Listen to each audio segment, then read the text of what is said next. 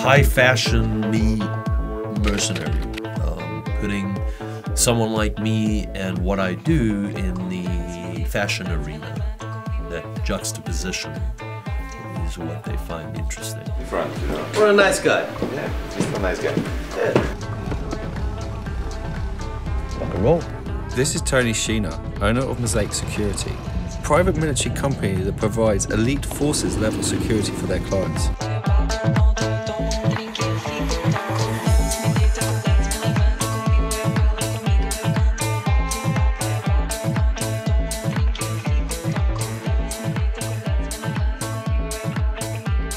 Are so much, you're gonna die. you still I train special forces.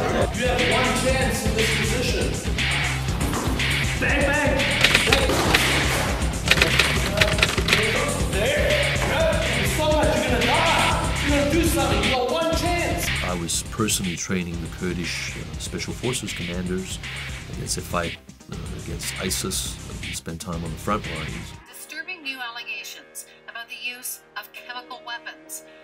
From Tony was there. He's a private military contractor working in Iraq. No, no, no fatalities, but there were, um, I mean, the lesions and, and burns were, uh, as you can see in those photographs, were pretty horrific. Schiena says he was escorted to the front lines by the head of Kurdish intelligence. He met with a combat medic, whom he says pleaded for help. this is a mercenary, this is high fashion, how do we put it together? No, it's this guy happens to do what he does, and now we're putting him in a high fashion shoot. action. Voilà, super.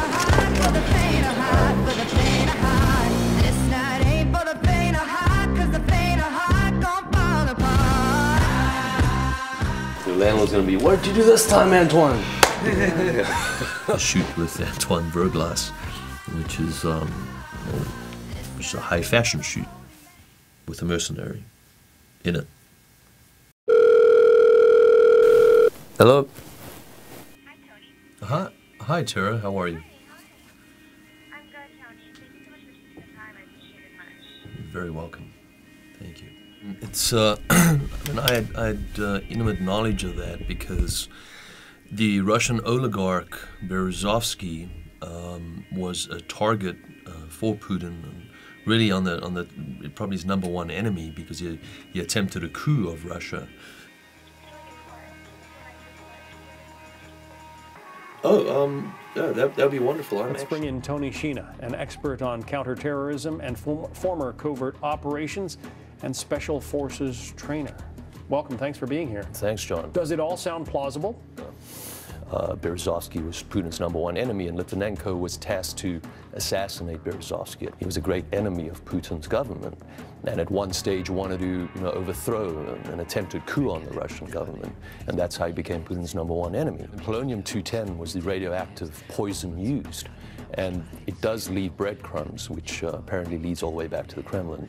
I always say, if you're in the crosshairs of really any intelligence organization on this planet, your days are numbered.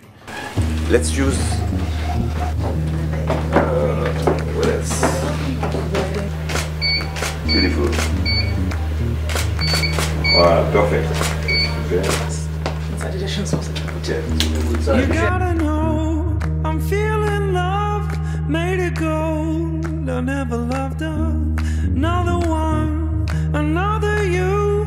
It's got Me, I travel a lot, but it seems so uh, so stupid compared to what he experienced and uh, and the people he meets and, and the danger that he that he's facing all the time. You know, it's like it's fascinating. I would read his memoirs.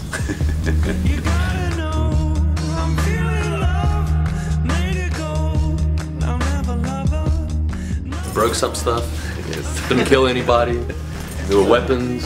I know, boring day for You you. muzzle flashed me, but it's okay.